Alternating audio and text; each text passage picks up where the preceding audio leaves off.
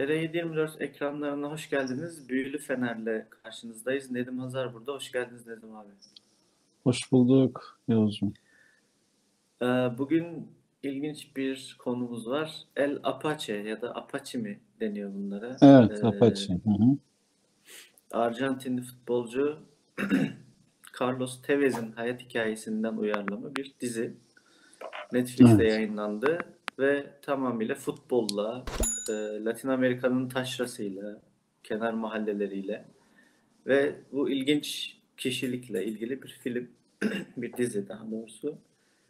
Bunu konuşacağız bugün. Ee, siz kısaca bir giriş yapmak ister misiniz? Yani dizi tam neyi anlatıyor? Ya e, aslında evet biraz da Netflix'i de içine alan e, bir şey yapmak lazım. Aslında e, herhalde dünyanın şu anda en popüler spor futboldur diye düşünüyorum. Hı hı. Aynı zamanda en büyük endüstrilerinden biridir. Yani spor alanında da, sporu aşan alanda da korkunç paraların döndüğü, büyük e, şey yatırımların yapıldığı bir şey, bir alan futbol. E, sinemanın tabii hayatın her tarafına kayıtsız kalmaması gibi futbola da kayıtsız kalmaması gayet tabii bir şey. Ara ara böyle şeyler oluyor ama bu Netflix özellikle e, bu futbol e, şeyini bul, damarını bulduktan sonra e, işte belgesellerle, filmlerle bilmem nelerle bu işe girişti ve çok da iyi geri dö- dönüşüm aldı. Şimdi konuşacağımız Carlos Tevez'in hayatını anlatan 8 bölümlük e, drama e, serisi de e, o kadar şu anda yoğun baskı alıyorlarmış ki biraz önce okudum. E, ikinci sezonu çek çekme kararı vermek üzereler yani. Hani devam ettirme. Halbuki e, şey Carlos Tevez e, kendince hikayesini anlatıp e, şey bir yerde bitiyor tabii. Yani anlatım bir yerde bitiyor. Carlos Tevez'in e, amaçladığı bir şeyden sonra e, hikayeyi noktalıyor ama işte nasıl yapacak? Hakikatle e, gerçeklerle ne kadar devam edecek? E, ne kadarı artık tamamen kurguya dönecek onu bilmiyoruz. Ama e, futbolun e, hayatla birleştiği, insanoğluyla birleştiği noktalarda e, çok enteresan dramalar çıkardığını gösteren çok önemli bir dizi olarak görüyorum ben. Şey, Zaten El Apache. Tevez'in hayatı da zaten Tevez'in hayatı da hani o dramaya çok uygun bir hayat anladığım kadarıyla. Tabii tabii hayatım roman, hayatım film derler ya aslında her futbolcunun hikayesi biraz başarı hikayesidir. O ecnebilerin success story dedikleri bir başarı hikayesidir. Aslında iyi kötü bir e, seyirlik bir şey veya dinlenecek bir şey vardır. Yani bir futbolcuyla oturduğunuz zaman e, onun hayat hikayesini dinlersiniz ama Carlos Tevez'in ki böyle tabiri caizse Narcos dizisi gibi bir şey. Yani çok sıra dışı. Bu tabii e, lakabını aldığı, yetiştiği, doğduğu bölge olan El Apache.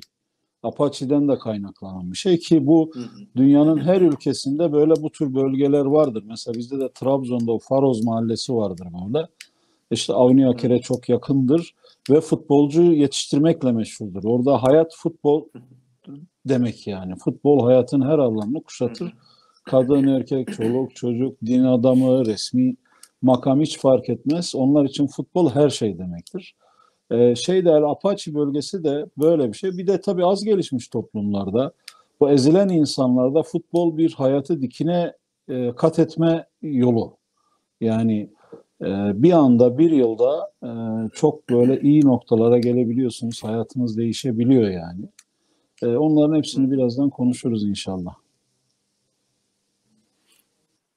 Peki bu e, yani dizide sizin ekstradan dikkatinizi çeken yani futbol filmlerine ya da dizilerinden ayrı olarak çünkü çok sayıda dediğiniz gibi futbolla ilgili film dizi yapıldığı son dönemde. Yani burada özellikle Evet. dikkatinizi çeken bir şey var mı? Ya bir sefer dizi aşırı gerçekçi bir dizi. Yani Hı.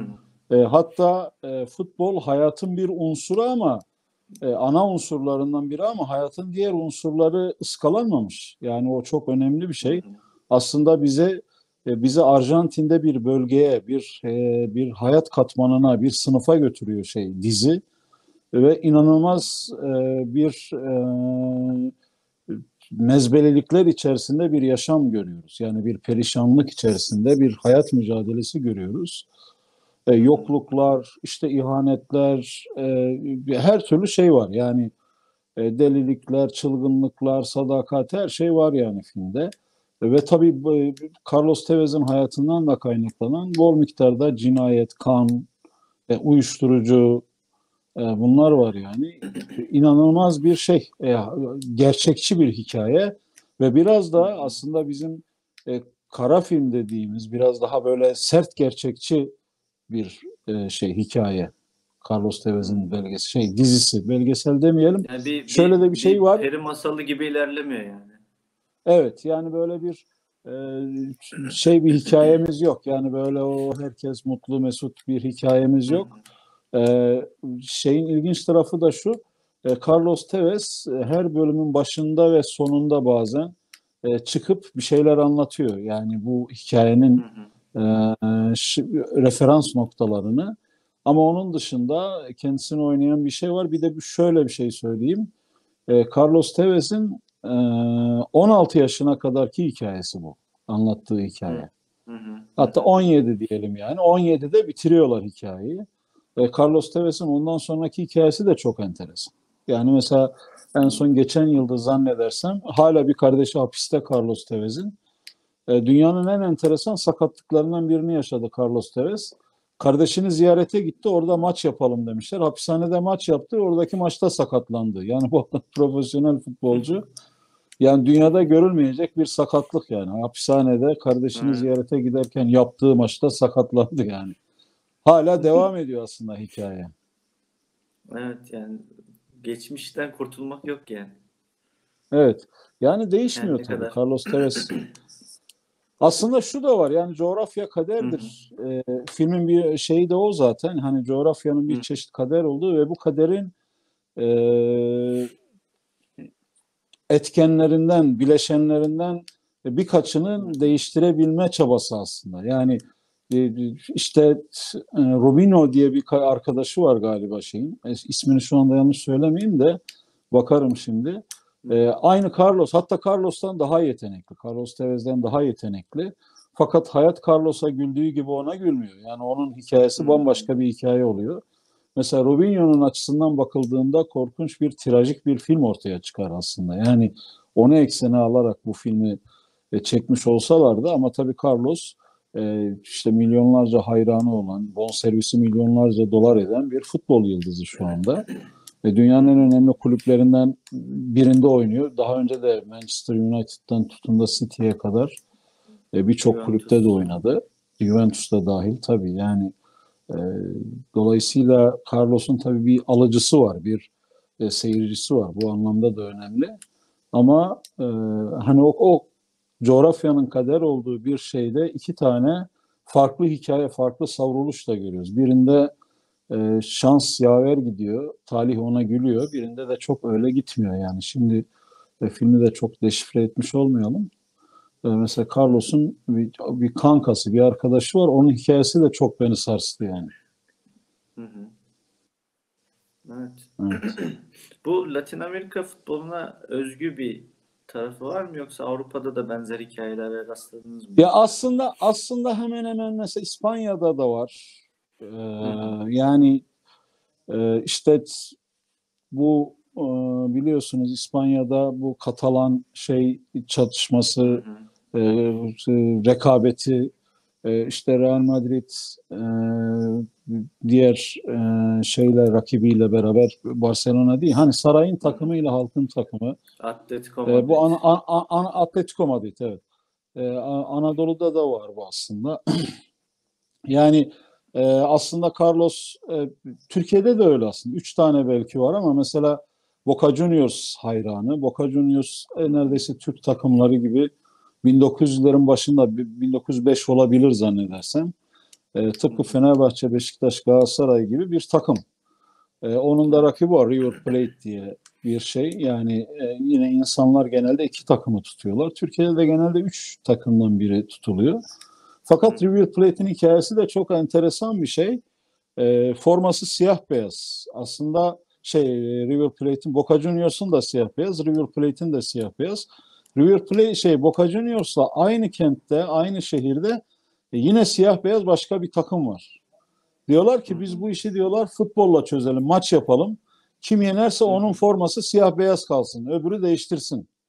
Ve Boca Juniors yeniliyor maçta. 1911'de oluyor bu maç. E, ne yapacağız? Şeyin başkanı diyor ki sahile gideceğiz diyor. Gelen ilk geminin rengi neyse diyor. Hangi bandırayı taşıyorsa diyor o rengi alacağız diyor. Bir gidiyorlar. E, İsveç gemisi geliyor karşıdan. Hı hı. E, sarı lacivert oluyor o yüzden renkleri. Yani işte Fenerbahçe'nin rengi oluyor. E, aslında işte Fenerbahçe'de ve böyle belki Galatasaray'da, Fenerbahçe'de, Beşiktaş'ta böyle çok hikaye vardır ama Carlos Tevez'in hayatında birkaç futbolcuya yetecek kadar macera var. Yani nasıl var?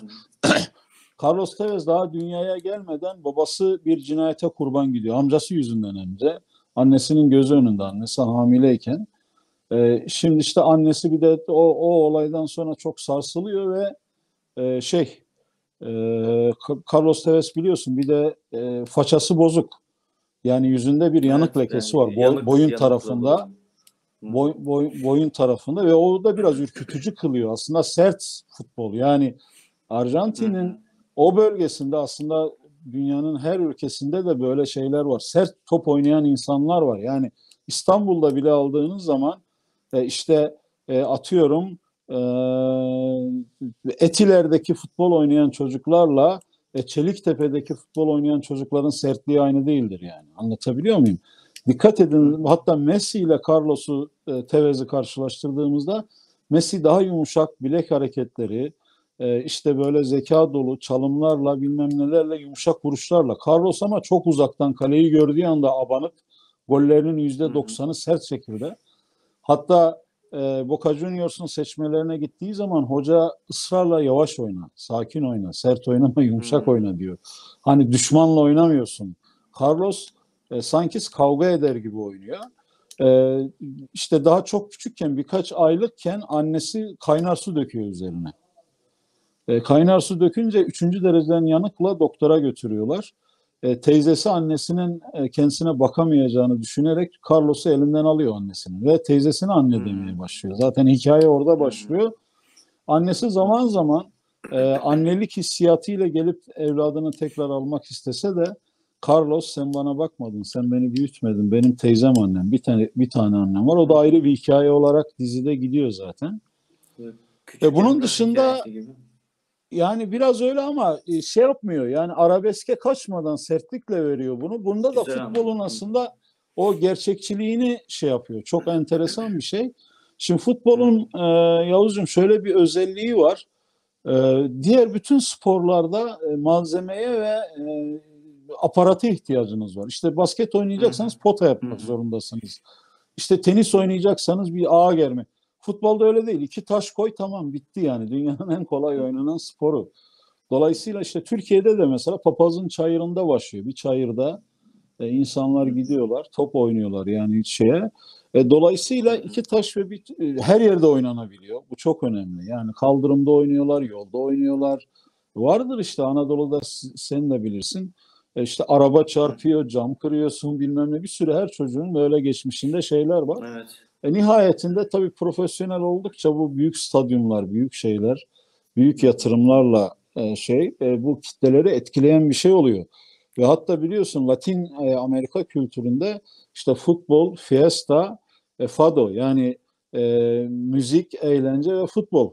Üç tane temel şeyden bahsedilir. Derler ki e, bu üç şey e, halkın en önemli şeyidir, e, zaafıdır, isteğidir. Ee, ve kitleleri hatta bununla uyuturlar diye diktatörler bunları çok kullanır şey yapılıyor.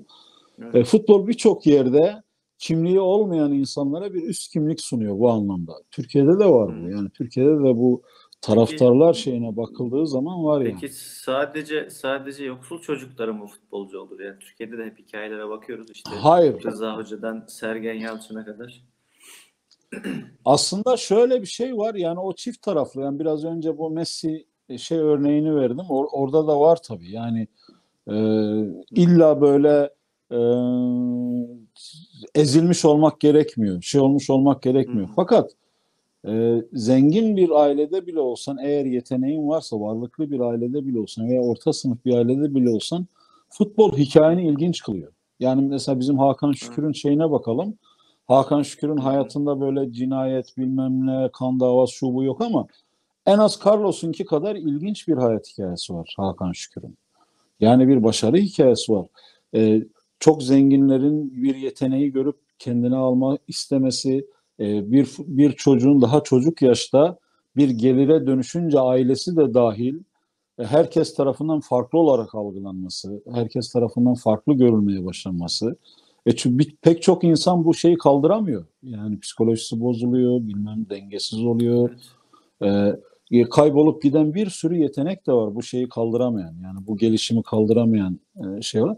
E, sinema işte tam da sinemanın aradığı bir şey bu. Yani tam da dramanın aradığı bir şey bu. Dolayısıyla bugüne kadar tarih boyunca e, o işte oyuncunun hayatını anlatmış, taraftarın hayatını, amigoların hayatını, kulüp başkanlarının hayatını yani inanılmaz fazla film var. Yani benim aklıma mesela şey yapıldığı zaman ta 2. Dünya Savaşı'ndan hemen sonra 2. Dünya Savaşı'nda geçen bir hikayeyi anlatan film var. Macar yönetmen Zoltan Fabri'nin Cehennemde İki Devre diye. E, orada işte Hitler'in gözüne girmek için Alman Nazi e, komutanları bir maç e, düzenlemek istiyorlar. Şeylerden de Yahudi esirlerden de bir kadro çıkarmalarını istiyorlar. E, enteresan bir şekilde aslında yenebilecekleri maçta geride oldukları için devre arasında kaçma imkanları olmasına rağmen aslında niyetleri de kaçmak orada. Kaçmıyorlar. Yani maçı tamamlıyorlar ve final çok trajik oluyor şeyde. Yani Cehennemde iki devrede. Hatta sonra meşhur John Huston var Amerikalı yönetmen. 1981 yılında çok popüler e, oyuncuları işte Sylvester Stallone'den Pele'ye kadar işte Ardiles'ten bilmem kime kadar Michael Caine'e kadar Zafer'e Kaçış diye biraz daha hı. böyle yumuşatarak bu hikayeyi çekti ve çok da başarılı bir e, şey oldu. Yani ama bu işin e, piri ilki şeydir. Zoltan Fabri'nin Cehennemde İki Devre filmidir. Hı hı. E, muazzam bir futbol ve gerçekçi bir futbol filmidir. E, sonra tabii inanılmaz şeyler oluyor. Yani futbol filmlerinde işte Gol serisi oluyor. Meşhur bu e, Green Street Hooligan filmi var. E, bir, bir sürü böyle şeyler. E, mesela Mean Machine diye bir İngiliz şey var. Türkiye'de de var işte. Nedir o? Dar alanda kısa paslaşmalar. Ya ya şey İlyas yani Salman'ın Kemal e, Sunal bile. Kemal Sunal Kemal Sunal'ın da futbolcuyu oynadığı hem kaleci hem golcü oynadığı hem de İlyas Salman'ın da oynadığı yani bunlar e, hakikaten e, bir de sosyal gerçekliğe dokunan filmler. Yani İlyas Salman'ın Kemal Sunal'ın da e, şey de hatta Dar Alanda Kısa Paslaşmalar filmi de Serdar Akar'ın e, şeydir yani iyi bir filmdir. O da çok güzel yakalamıştır. Hatta e, şeyin çok güzel bir mottosu vardır. Hayat futbola fena halde benzer der. Yani e, rahmetli e, oyuncu orada e, teknik direktördür. E, onu Savaş anlatır Dinçer. yani. Savaş Dinçer evet rahmetli oldu. E, mesela orada da e, çok güzel bir kenar mahallede bir e, küçük hayatların büyük mücadelesi vardır yani. Bu önemli bir şey. E, bugüne kadar böyle sayısız e, meşhur oyuncuların e, hayatları, belgeselleri bilmem ne ki birçoğu Netflix'te var zaten. Netflix'te devam ediyor. Ama Tevez e, drama anlamında çok yeni bir mecra açtı. Ben onu düşünüyorum. Kaldı ki yapımcılığını da yapım ortaklarından biri Tevez yani. Ee, diğer yapımcı da mesela bir futbol kulübü başkanı Arjantin'de şeyin bu dizinin. E, dolayısıyla aslında mesela Türkiye'de işte Rıdvan'ın hayat hikayesi bence bundan çok daha az ilginç değil. Hele hele bizim Kral Hakan Şükür'ün yani Hakan'ın hayatı en az Tevez'inki kadar ilgi görecek diye düşünüyorum. Görür diye düşünüyorum. Hatta hani E, yapımcılara buradan 4-5 şey yılı düşünürsek Yani evet o Son- ayrı ikinci sezon o. Yani birinci sezon e, birinci sezonu da çok ilginç. Yani Hakan Şükür'ün e, bir başarı hikayesi olarak daha çocukluktan itibaren e, tıpkı Carlos'un Boca Juniors'ta oynamayı kendine hedef yani bu anlamda çok da benziyor. Yani Hakan Şükür de Evet. 17 yaşında Galatasaray'a hani Bursa Spor'a gidiyor ama hani Galatasaray rüyası var onun yani. İşte çok büyük paralar dökmelerine rağmen rakip kulüplere gitmeyip Galatasaray'a gidiyor. Ve orada bir sürü şey yaşıyor. E, Tevez de öyle. Yani Boca Juniors'la oynamak için bütün hayatını ona endekslemiş yani. E, bunun için birçok şeyi de göze alıyor açıkçası. Bu anlamda hani e, bir ön yol açıcı bir şey olduğunu da düşünüyorum e, bu dizinin, bu şeyin. E, futbolu küçümsememek lazım. Yani şey hele hele bu şeyde e, sen söyle hmm, Arjantin gibi Latin Amerika ülkelerinde. Kolombiyalı bir futbolcu vardı hatırlıyor musun bilmiyorum Andreas Escobar diye. Adam Evet. milli maçta kendi kalesine gol attı. 10 gün sonra adamı mafya öldürdü yani. Anlatabiliyor muyum? Ee, bu bu anlamda İşte Ro- e, çok Ro- Ro- Roberto Baggio'nun penaltıdan sonraki hayatı mesela tepe takip evet yani aynen öyle. Yani bazen bir golü atmak ya da atamamak e, bir anda her şeyi değiştirebiliyor. Ya da e, seçmelerde hocanın size kıl olup başka birini seçmesi bir anda hayatınızı değiştiriyor. Hatta şöyle bir şey vardır mesela dün düşünürken aklıma geldi. E, bu Hitler e, şeye gidiyor. e, sanat akademisine gidiyor. Aslında Hitler e, sanatçı olmak istiyor, ressam olmak istiyor, sonra müzisyen olmak istiyor. E, şey bunu almıyor akademiye. Hocalar almıyor bunu. E, dünyanın başına bela oluyor yani. Böyle birçok şeyin de liderin de mesela Tayyip Erdoğan'ın da benzer bir hikayesi var. Ta Fenerbahçe'ye kadar gidiyor futbolcu olarak. Hı hı. Orada seçilse belki siyasete girmeyecek. Bilmem ne olacak. Bugün Türkiye Evet, başka çok bir- başka bir yerde olacak. Yani bilemiyoruz. Bu işin kader yönü de var. Hı hı. Böyle. Son bir soruyla kapatalım o zaman. Peki yani Tamam. bu bahsettiğimiz hikayelerin tamamı işte dediğiniz gibi yani futbol dikine doğru çıkma imkanı sağlıyor insanlara. Evet. Yoksul mahallelerdeki çocukların hayali. Şu an endüstrileşen futbolla beraber bu biraz değişti mi? Yani şu an çünkü çok büyük bir pazar, çok büyük bir e, yani çok belki daha küçük yaşlardan başlamak gerekiyor. Ya ben çok mekanikleştiğini düşünüyorum ve bu bu Hı şunla hı. şunların artık futbolcuların o duygusal iletişim kurmasını engelliyor, dostluklar kurmasını engelliyor. Daha küçük yaşta hayatın dışına atıyor.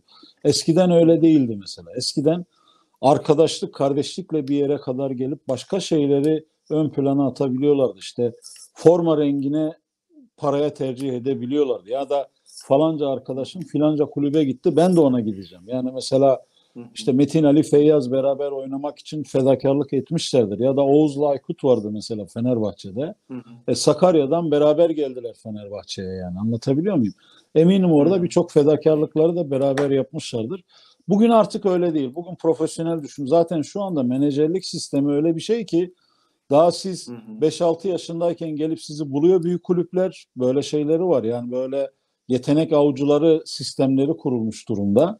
E, dolayısıyla hikaye biraz daha farklı bir mecraya kayıyor ama yine de hikaye oluyor. Yani çünkü futbolcu e, duyguları çok önemsenmeyen, biraz daha böyle altın yumurtlayan tavuk gibi bakılıyor ve mesela çok enteresan bir sakatlık hikayesinde ben e, şimdi isim vermeyeyim mesela Fenerbahçe'de ilk antrenmanında sakatlanan ve büyük umutlarla gelen bir golcünün hikayesini hatırlıyorum.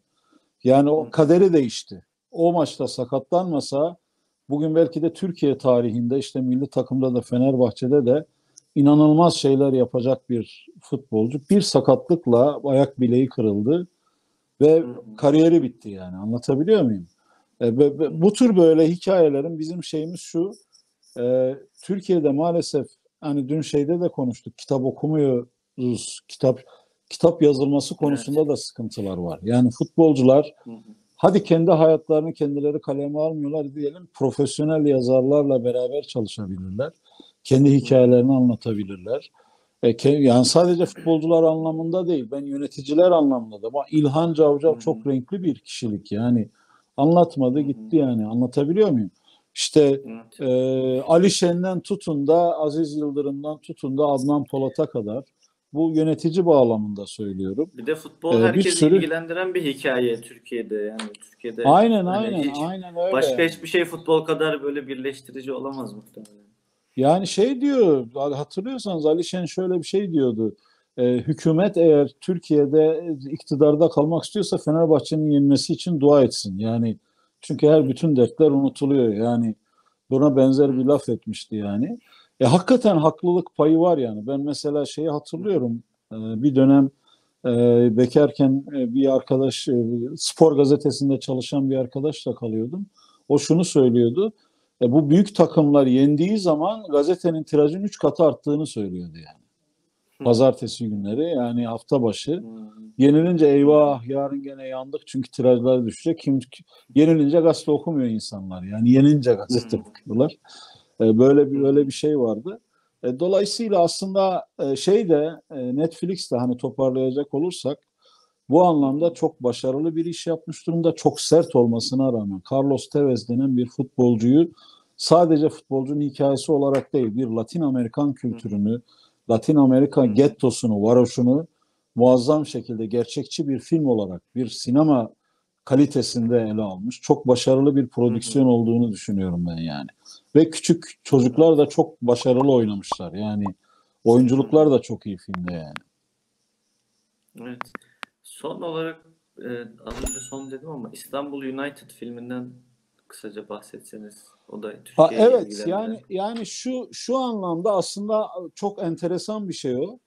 E, normalde e, fanatizm öyle bir şey ki futbolda e, rakip takımdan kardeşin bile olsa kavga edebiliyorsun maç sonrası. Bayağı ciddi kavga ediyorsunuz. Yani rakibi tutuyor diye düşman gibi görüyorsunuz. İstanbul United filminde bunun bir istisna durumu ele alınıyor. Ne alınıyor? Gezi dolayısıyla e, şey diyor hatta yani düşmanlar bir araya gelip e, baskıya karşı direndiler. Hatırlayın o dönemi işte Hı hı. çarşı grubu, hı. e, işte şey e, Ultra Aslan işte anlatabiliyor muyum? Hı O hı. Fenerbahçe'nin taraftarları ortak şekilde e, gezi direnişine katıldılar geziye karşı.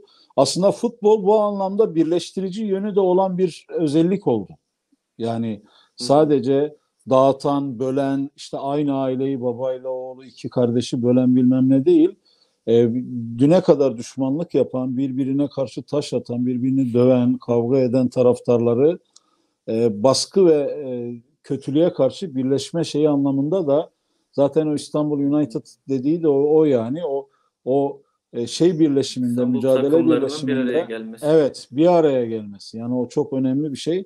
Belki de hani Hmm. bugünkü iktidar, bugünkü muktedir biraz da geziden o yüzden böyle gezi denince bir anda kimyalarının bozulmasının sebebi o yani.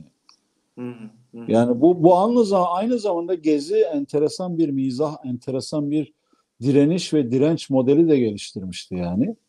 E, futbolun e, zekası ve üreticiliğiyle, kreativitesiyle birleşince bu inanılmaz manzaralar çıkarmıştı. Hatırlayın o çarşının organizasyonlarını, şeylerini, Evet. e, yürüyüşlerini falan. Yani diğer taraftar grupları da katılıyordu zaten. Bu anlamda e, evet biraz da e, ihmal edilen bir belgesel e, İstanbul United. Yani imkanı varsa e, bir bu şeyimizi izleyen arkadaşlar onu seyredebilirler. Başarılı bir belgesel. Evet. Evet, teşekkür ediyoruz. Bugün e, Rica ederim ben komşumuz, teşekkür ederim. Komşu, komşumuz olan Hasan Cücük ve Necati Kolan'ın futbol programını biraz hacklemiş olduk. Evet, evet.